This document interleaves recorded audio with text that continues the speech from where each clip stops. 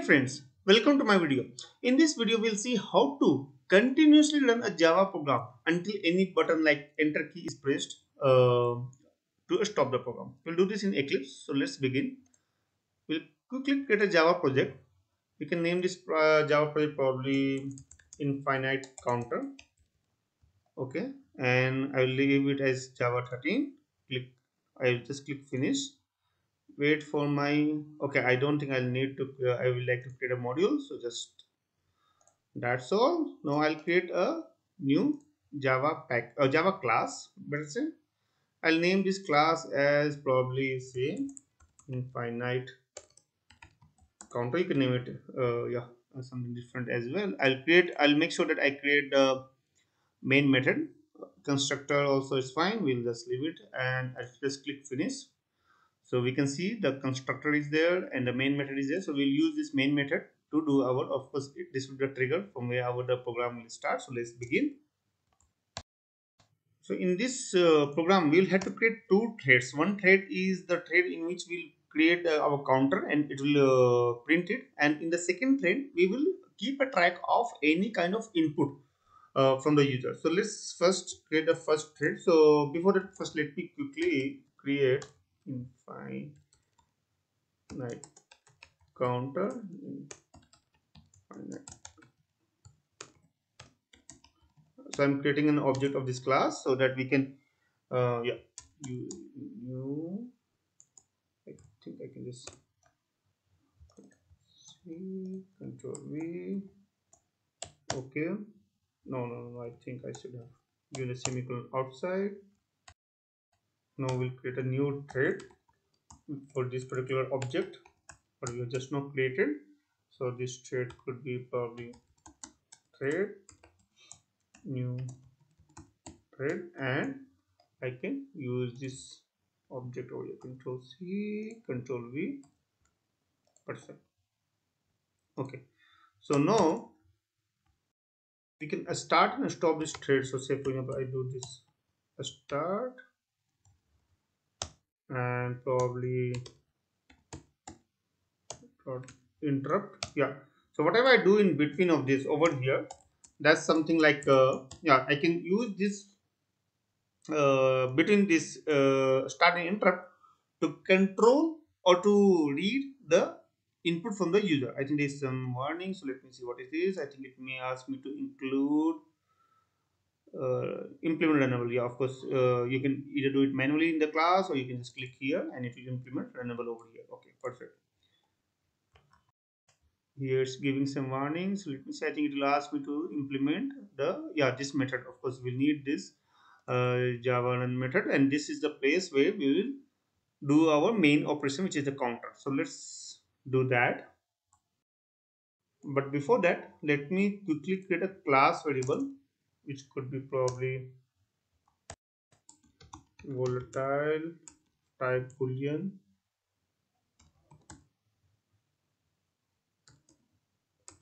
Boolean. Run so this I will of course initially put it true. And this is what we'll control over here between the threads. Uh, when we read the input from the user we'll change it to false so that we stop our counters here so first let me implement this part then i'll get into the main part uh, the main functionality shortly so over here what i'll do is we'll just read it using the scanner. So a scanner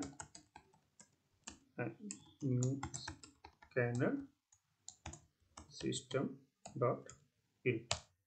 Perfect. Now i will use a while loop to check the input from this scanner.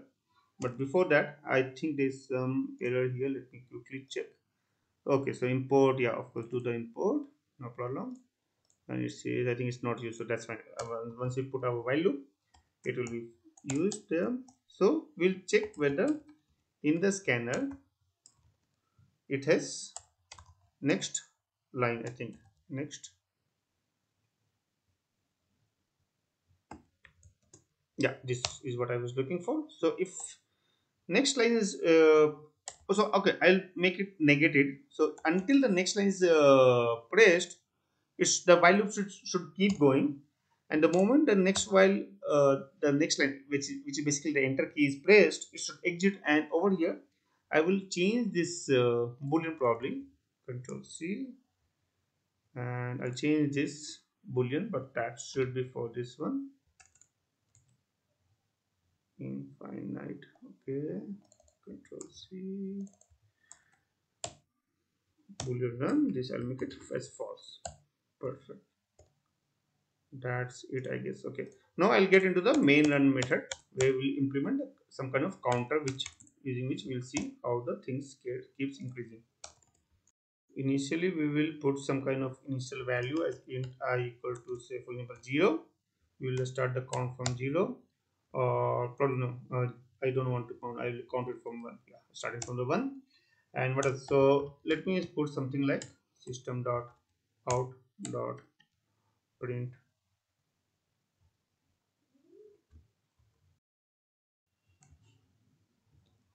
I don't know why it came up. No problem. So I just put dot print. And over here in the print statement I can give some statement like uh, system.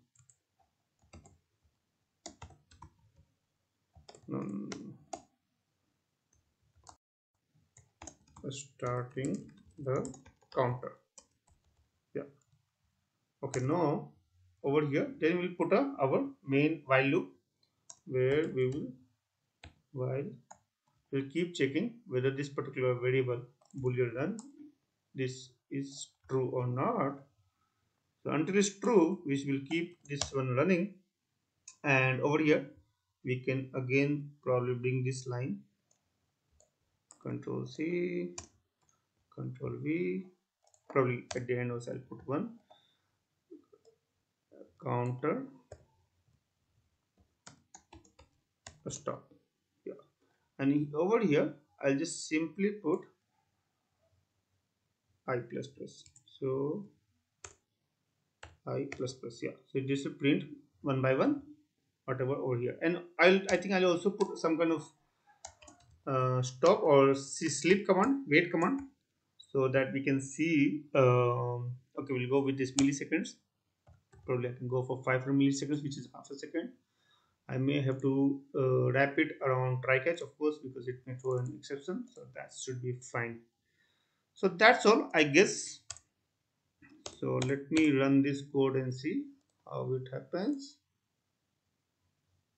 Perfect. So if you see it's uh, going on to the 10 11 12 and if I press enter so it stop that's fine. But uh, okay. So here everything is coming in one line. What I'll do is I'll quickly check change this print to print line. Yeah. Okay. This one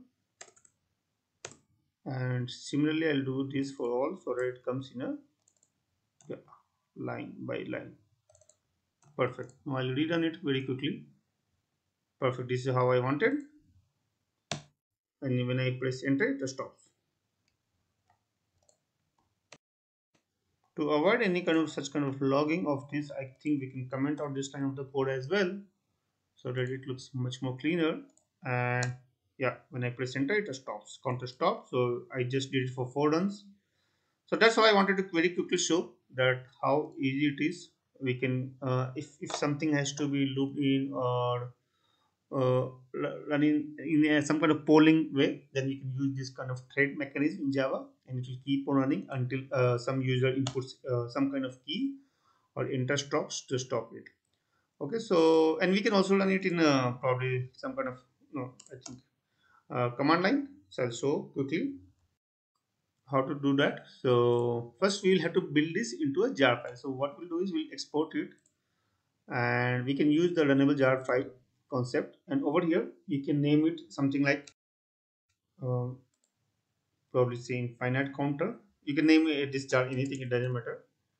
Infinite counter and I leave everything yes no no no. Wait uh failed. I know why it is failed. I think I should change it to uh, the uh, project on which I'm working right now and then I'll click finish. Okay click OK and I think it's done.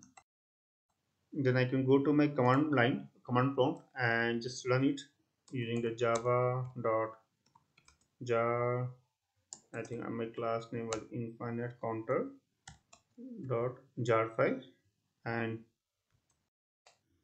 and if I press enter perfect. So it's running as it was running in this uh, Eclipse environment. Is almost similar over here. And uh, yeah it can keep going but I can press enter to stop it. I can rerun it probably. Yeah. So this this kind of program will be helpful if you want to run it uh, for some infinite number of times or not if infinite but at least for a very long period unless a user stops it manually. So that kind of uh, execution can be done. Okay. So that's all. I hope this is useful to you. I will keep the program on my website as well so you can uh, refer to that uh, over there. Uh, i hope this video is useful to you. If you have any questions or suggestions then please put in the comment section below. Uh, if you like this video then